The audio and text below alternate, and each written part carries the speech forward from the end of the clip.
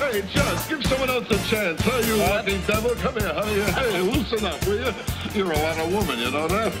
Hey, you want to make $14 the hard way?